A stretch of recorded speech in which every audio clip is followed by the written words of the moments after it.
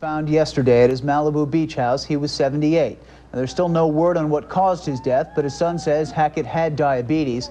Now, Hackett's career spanned 50 years. He was a top act at a Las Vegas nightclubs, on TV, and in movies.